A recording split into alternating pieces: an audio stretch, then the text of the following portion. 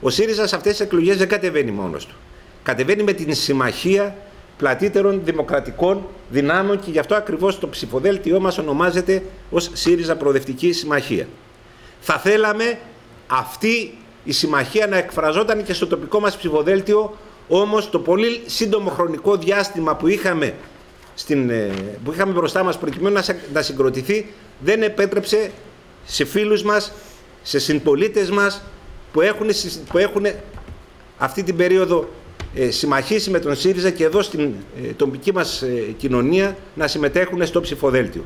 Τις επόμενες ημέρες όμως είναι σίγουρο ότι όλο αυτό το πλούσιο ανθρώπινο δυναμικό που έχει συμπαραταχτεί μαζί μας θα βγει στην δημοσιότητα, θα βγει στην, ε, στον αέρα που λέμε έτσι ώστε πραγματικά αυτό το οποίο θέλουμε να σηματοδοτήσουμε την πλατιά δηλαδή δημοκρατική συμμαχία των τοπικών δημοκρατικών δυνάμεων που στέκεται απέναντι σε όσους θέλουν να μας πάνε πίσω να εκφραστεί με διάφορους τρόπους και στη Λέσβο. Το ψηφοδέλτιό μας λοιπόν εδώ στην Λέσβο αποτελείται από τους παρακάτω. Είναι η Βασιλική Ανδρεαδέλη.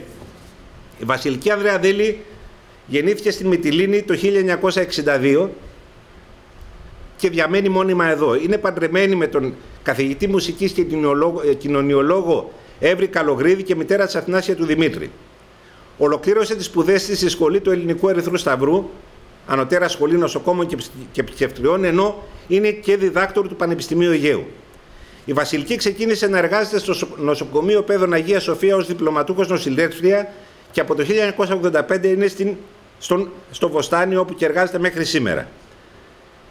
Από το 1995 μέχρι και το 1999 συμμετείχε στην Επιτροπή Ενίσχυσης της Εθελοντικής Ομοδοσία του Βοστάνιου, όντας ιδρυτικό μέλος του Συλλόγου Εθελοντών Ομοδοτών Λέσβου έχει υπάρξει υπεύθυνη σχεδιασμού και υλοποίησης προγραμμάτων που αφορούν μεταξύ άλλων την καταπολέμηση του αποκλεισμού από την αγορά εργασίας των ατόμων με ειδικές ανάγκες, την ανακύκλωση, την πρωτοβάθμια φροντίδα υγείας στην κοινότητα, την καταπολέμηση του αποκλεισμού για ανέργους νησιωτικών και ορεινών αποκλεισμένων περιοχών.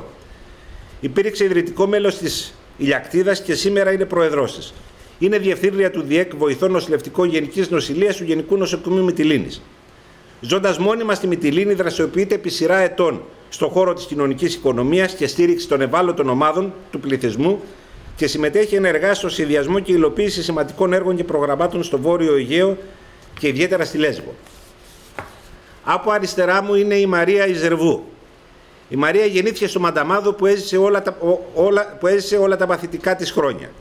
Είναι κόρη του επί σειρά ετώ, τετραετιών Προέδρου της κοινότητας Μανταμάδους ε, Σταύρου Ζερβού, σπούδασε κοινωνικός λειτουργός στην Αθήνα και είναι παντρεμένη με τον πολιτικό μηχανικό τον Βασίλη Τεντόμα με τον οποίο έχουν δύο, κόρες, δύο κόρες. Εργάστηκε στο νοσοκομείο Μητυλίνης και στο ειδικό δημοτικό σχολείο Μητυλίνης. Διατέλεσε επί σειρά ετών γραμματέας και πρόεδρος του ενιαίου συλλόγου εργαζομένων του νοσοκομείου, καθώς και εκπρόσωπος των εργαζομένων στο Διοικητικό Συμβούλιο του Νοσοκομείου. Επίσης, υπήρξε ερετό μέλος του Υπηρεσιακού Συμβουλίου του Ειδικού Εκπαιδευτικού Προσωπικού για τρεις συνεχείς θητείες. Τα τελευταία 30 χρόνια ασχολείται ενεργά με τον εθελοντισμό και σήμερα είναι συνταξιούχος. Αυτό θα πρέπει να το πω ανάποδα, αλλά το βασικό χαρακτηριστικό είναι η ενεργή συμμετοχή της Μαρίας όλες αυτές τις δεκαετίες με τον εθελοντισμό. Ο Γιάννης Ομπουρνούς είναι 39 ετών και γεννήθηκε, γεννήθηκε και μεγάλος στη Μυτιλίνη. Πήγε στην πρώτη, σχολείο στην πρώτη, πρώτη παιδαγωγική ακαδημία, το 4ο γυμνάσιο και το 4ο λύκειο Μυτιλίνης. Σπούδασε αγγλική φιλολογία στο Πανεπιστήμιο Αθηνών και έκανε μεταπτυχιακό στο Τμήμα Επικοινωνίας και Μέσων Μαζικής Ενημέρωσης του Πανεπιστήμιου Αθηνών. Εργάστηκε ως καθηγητής Αγγλικών στην ιδιωτική εκπαίδευση και ως ραδιοφωνικός παραγωγός ενημερωτικών εκπομπών. Αργότερα απασχολήθηκε ως επιστημονικός συνεργάτης τη κοινοβουλευτικής ομάδας του ΣΥΡΙΖΑ για ζητήματα Ευρωπαϊκής Ένωσης και εξωτερικής πολιτικής. Ω σύμβουλος πολιτικής επικοινωνίας είναι μέλος του Ευρωπαϊκού Συνδέσμου Πολιτικών Συμβούλων. Είναι μέλος του, του, του Συλλόγου Αντιμετώπισης Θαλασσεμίας και Δρεπανοκυταρικής Νόσου, νομού Λέσβου και συμμετέχει στο κίνημα για τα δικαιώματα των πολιτών με αναπηρίες και χρόνιε παθήσει. Το 2013-2014 ήταν μέλος του Διοικητικού Συμβουλίου της Ελληνικής Ομοσπονδίας Θαλασσοεμπίας και αναπληρωματικό μέλος του Διοικητικού Συμβουλίου του Εθνικού Κέντρου Αιμοδοσίας.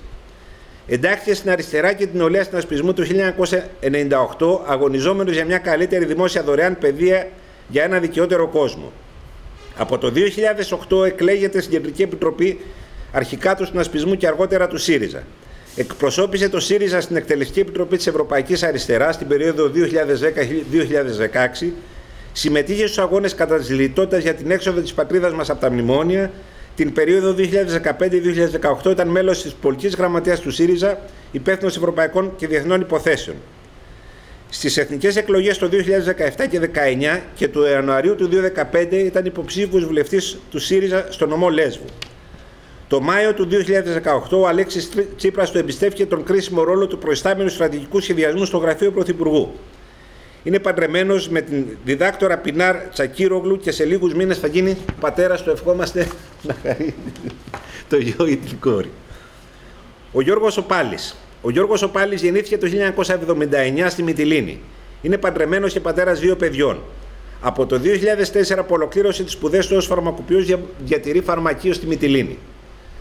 Πάνω από μια δεκαετία έχει, έχει πρωτοστατήσει σε κοινωνικά κινήματα υποστήριξης προσφύγων και μεταναστών και προστασίας του περιβάλλοντος. Από το 2008 εκλέγεται ως μέλος της Κεντρικής Επιτροπής του Συνασπισμού και μετέπειτα του ΣΥΡΙΖΑ.